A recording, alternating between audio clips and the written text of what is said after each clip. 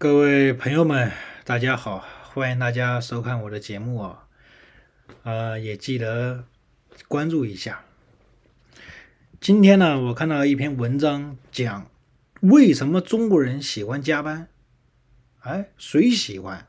那根本是无奈。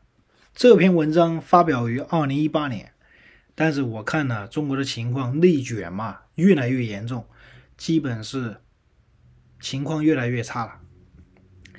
说吃的比猪少，干的比牛多，睡的比狗晚，起起的比鸡早。中国职场人如此调侃自己。国家统计局数据显示，七月份全国企业就业人员周平均工作时间四十六个小时，呃。比上个月增加零点一个小时。中国人加班有多疯狂？京东它是中国的一个大的公司啊，它是每天晚上二十三点十六分钟为平均下班时间，成为中国最狠的公司。华为每日人均加班时间呢三点九六个小时，成为中国的企业的加班王啊！人比人气死人。中国人又开始羡慕外国人了。嗯，调查显示呢，在每周工作时间最短的国家跟地区中呢，即便是排在第十七位的伦敦，它每周平均只有三十三个小时，三十三除以五，那一天才工作不到七个小时啊！这这真的是。哎，不少人认为啊，说中国啊，现在比这个四十年前更加富裕了，这个更加收入高了啊，就是也可以有钱出去旅游啊，买苹果手机啊，买汽车了。但为什么还是要疯狂加班呢？还是感到压力山大呢？压力很大呢？在我们身边，有人因为压力压力大加班，有人猝死，有人自杀。有人失眠，有人月经失调，有人夜夜加班，有人没空做爱，有人疯狂骚扰闺蜜，啊，就工作生活两不分。社交媒体上一片呻吟发泄之声呐，商场里挤满了这个报复性的消费者。哎，这句话写的不对。现在中国好像商场里面没多少人，现在中国人都去网络购物了。还有很多中国老百姓呢，内卷呢，躺平了都没钱了，还买什么东西啊？太多人在想，最想做的事情，狠狠的睡在睡上一觉，睡到自然醒。哎，中国这压力为什么这么大？老要加班，那谁愿意加班呢？还是因为穷啊？还是因为穷？没别的，为什么中国任何地方没有福利？中国这个国家没有任何福利，他吃饭要钱，穿衣服要钱，孩子上学要钱，看病要钱，呃呃，生小孩从小孩出生，夫叫夫孕检要钱，生孩子要钱，全部都要钱。中国，就你从生到死，你你死了埋在棺材里面火化要钱。如果你跳河，你掉在那河里面，人已经是尸体了嘛？你要找人来捞，这个也要钱。没钱的话就不给你捞，就把你挂在那，就把你就让你飘在那里，全要钱。家庭压力最大的要数中国的中年人，他们是这个家庭的脊梁，上有老下有小，就是社保还要交还要交了。我不知道中国的社保交了有没有什么用，搞不懂。这些人呢，最大的压力来自于身份焦虑。这帮从愤青跃升为准中产的阶层，时时感觉到地位不保。他们是中国十四亿、十四万亿民间存款的主力军，不过大多属于预防性存储。啊，动不得稍不留神就会沦为房奴、车奴、卡奴、病奴、学奴，啊，中年是一个临界点。虽然事业蒸蒸日上，身体却每况愈下。当然，大部分人中年之后事业也是每况愈下，只不过是有一些人事业能上去。说我们的压力从哪里来呢？物价涨得比胡子还快，但工资涨得比眉毛还慢。要想过得好，只能无奈无奈无奈的拼命硬干房子、车子、票子，就足以让这个中国人呐压力就爆表了。买房买车又成为上班族的必须的目标啊！就连得到诺贝尔文学奖的莫言，他得了七百多万奖金，都在为这个房子着急。你就说这国家大多数人都面临什么样的情况啊？啊，于是呢，要找一份好的工作，稳定不错的收入，成为众多人的追求的目标。但是呢，你要想达到这些目标，你就要付出更多的代价，因为城市里面一千多万人呢，凭什么你拿到这个钱呢？啊，中国人的一生从生下来就是跟时间赛跑，呃，让小孩。早早开始学音乐、补英语、练画画，似乎少一样就要就要被淘汰了。高考前非要早早读完所有课程，提前一年开始复习。现在不仅仅是高考，现在现在中考都开始这样了。进入社会一味的升官发财，啊，对这个职业的追求一味的只追求金钱，然后有钱了之后就有钱了，成家立业。呃，大学刚毕业啊，父母呢又催着小孩赶快结婚生子啊。这些父母也是的，你家没几个钱，你你儿子女儿怎么结婚呢？还有你女儿也是，你女儿能长成啥样呢？啊，你要求这么高，能有人要吗？所以许多中国的父母给自己的子女添加了、增加了大量的额外的压力，而且许多父母呢。我这个必须要说，中国的许多父母没没有自知之明，动不动就跟小孩讲：“你看看对门那个邻居怎么样？你看看二大爷、三大爷他们家小孩怎么样？你怎么指责你的小孩要跟别人的小孩比？你怎么没有跟别人的家长比呢？啊？别人家长一年挣个一百万，你咋的一年就挣个一两万了呢？啊？别人家长直接就已经当局长、当科长了。”你咋还是个农民工的呢？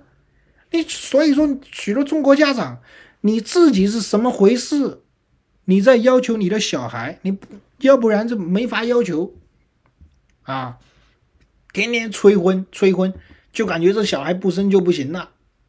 哎呀，你就说血脉就要断掉了。哎呦，你又不是皇帝啊，又没有皇位要传给子孙，你还急什么急呀？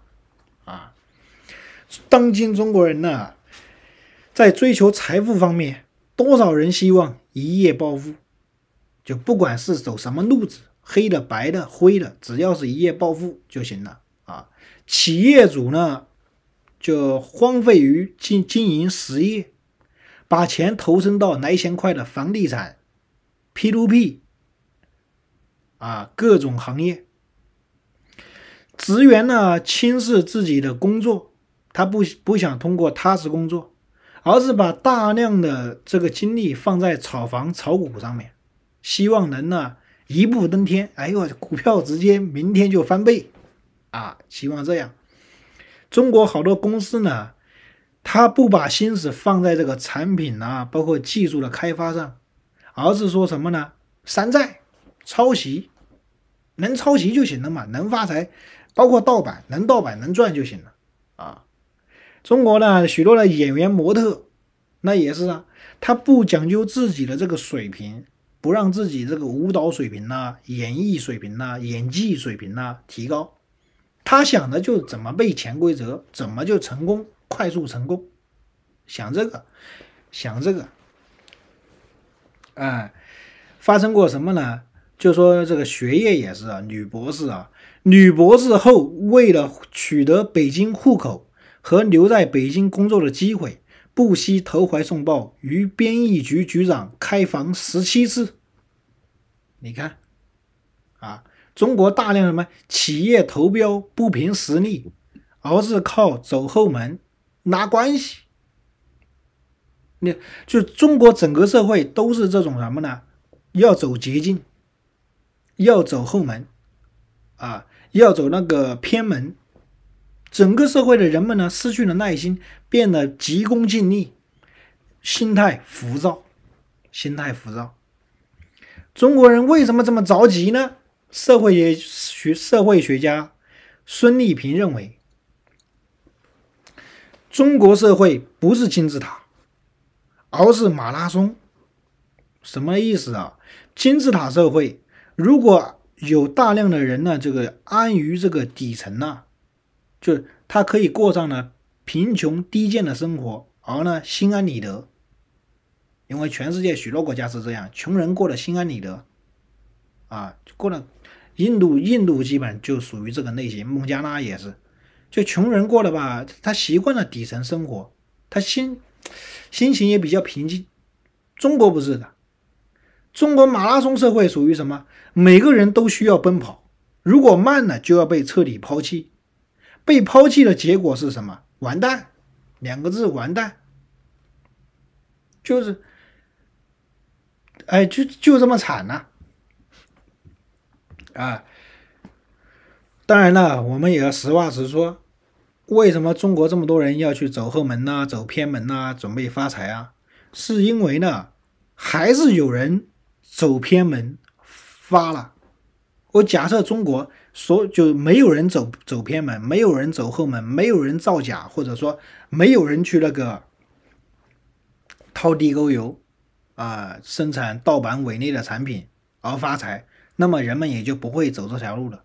现在是因为人们看到这个中国社会啊，大量的人就是造假发财的，就是拉关系发财的，就是呃倒卖商品，就是那种就就说干那些灰色地带的发财了。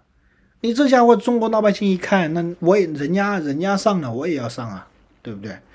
啊，你那天天看着别人拿着这个这这高薪啊，住着大房子，开着名车。啊，旁边的女朋友也不叫女朋友，旁边那个女的，这又是很美啊，跟那电影里面的呢。你心中充满不平衡呐，恨呐！去中国这仇富真的是，一夜暴富，一夜成名，就中国大量的人就是这个心态。就我就这么说，许多人说呢，中国拍电影呢，导演是那个要睡女演员，大错特错，这对中国一无所知。就尤其是这个说法是对第三世界一无所知啊！第三世界国家你去拍电影，或者你是比较有钱的，当地的那些演员女的拼了命的要跟你睡觉，都不人家强烈要求要跟你睡，不是说导演你要那个，你是要去潜规则人家了，你搞清楚这个这个方向啊！你导演呢？就膨胀的欲望啊，跟严酷的现实，急剧的增加了中国人的压力。呃，所以呢，总而言之，让中国人老百姓内心觉得赚钱要趁早，出名要趁早，升官要趁早，就相互攀比啊，你之于我感，这个社会就已经形成了浮躁的社会。不，你从哪里那还可以看出这个社会很浮躁呢？他想快。你看这个广告，广告上面写什么呢？说一分钟治疗近视，三分钟人流，人流就是堕胎手术啊，三分钟无痛人流。然后还有什么七天买美白，你皮肤比较黑吗？七天给你美白啊。然后还有什么减肥，十四天就减肥，这种还多着呢。一年成名，两年出书，三年就直接暴富了。啊这真的是为什么中国会这样？因为中国西班牙的《世界报》曾经说过，中国的高房价毁灭了年轻人的爱情，也毁灭了年轻人的想象力。啊，他们本可以吟诗、吟诗朗诵、结伴旅行、开读书会，但现在年轻人大学一毕业就成为了中年人，像中年人那样为柴米油盐精打细算，他们的生活从一开始就是物质的，而不能他体验浪漫的人生。他的生活就是从生到死都是物质的，所以中国人的生活就是，当然第三世界啊，大部分国家都是这种，就是要不然那些贩毒的干嘛了？为什么第墨西哥贩毒啊？还不是为了钱吗？泰国为什么卖淫呢？还不是为了钱吗？你说啥都是为了钱呢？穷啊！中国呢？当一个社会，正常的社会应该提供相对完善的这个养老、医疗、教育等福利保障，相对完善。就这这，在这个国家，公民呢，他呢挣钱，他愿意去花钱。我举个例子啊，比如说美国。美国老百姓有人有许多人说美国老百姓，哎呀不存钱呐什么什么，我就这么说啊。美国首先，如果你是个普通人，你上公立学校，从小学到到那个高中免费，免费。你家如果穷的话，你上大学都是免费的。你家如果真的穷，你上大学都是免费的，政府会他有一些慈善机构或者政府会给你钱的，呃。另外，美国你就算穷，你买那个医保买便买便宜的，或者说你真的实在太穷了，那你直接就赖账，你照样还可以看病，是不是？你想想，好的，你就说就我就拿美国这两条，如果中国能达到这两条，公立学校全免费，啊，医疗啊，就是说你你你要是说在医院里面要死了。还是给你救了，你没有钱我也给你救。中国是没钱，你直接就等死了。那没钱，医生直接说拔管，呃呃，这个账上的钱，呃，赶快赶快补充啊！不补充的话就停那个点滴了，停停那个药水了。直接医生直接跟你讲了，你那怎么弄？中国这压力能不大啊？你看看到时候你爹你妈就躺在病床上就看着你了，你就怎弄？那不去赚钱能行吗？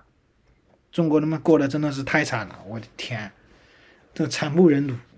你再再说物价吧，物价也也是，美国一个小时最低，比如说挣十二美元，中国一个小时挣十二美元，美国十二美元能买什么东西啊？那购买力，你就不说别的吧，苹果手机八百美元，美国一个星期打工能买了。中国一个星期打工挣，比如说七八百块钱，你能买什么？你差距太大，你就你不仅仅工资差距大，你的那个跟你那个物价，然后呢，还有一个就是你购买的产品它的质量，你跟美国也没法比。为什么呢？发达国家人家买到的食品是干净的，吃起来放心的。你在中国买的食品，你能放心吗？想象一下，还有另外，中国我我在美国出了车祸，我发现中国跟美国巨大的差距在保险行业差距特别大。中国你出个车祸跟你扯皮，保险公司不不会跟不会跟你给你赔的，你要不然你现在出门被车撞一下，看看保险公司赔不赔？保险公司肯定跟你讲这个不在我们保险范围内啊，哎别哦，啊这不行，跟你扯皮的。你看美国。当然，美国也会有跟你扯皮，但是美国可能性比较低。你整个你再看看这整个社会压力，这中国社会压力太大了，真的是。那么这么一想的话，那么美国，美国不是天堂，中国绝对是地狱，就这么说吧。我已经说完了，太惨了，尤其是普通人呐。你不要算有钱人，有钱人呃，就中国有钱人过的实际上也提心吊胆。这个差距跟美国，美国比尔盖茨、巴菲特可以骂总统，所有官员随便讲随便骂。中国，如果你是马云，你现在害不害怕？你是王健林，你害不害怕？因为随时可能关入大牢，小命就没了。现在我估计马云的话，私人飞机估计都飞不出中国了，小命要紧，真的是。压力太大了，真的是压力大。中在中国活压力真的大。好了好了，我就我就说这么多了，各位。有人说大声啊，那你怎么笑笑得出来？首先，我为我能够庆幸逃出这个中国啊，这个地狱啊，感到庆幸，因为我毕竟从地狱来到了这个美利坚。美利坚虽然肯定不是天堂啊，但是呢，这边是至少它不是地狱吧。好了，我就说这么多了，拜拜。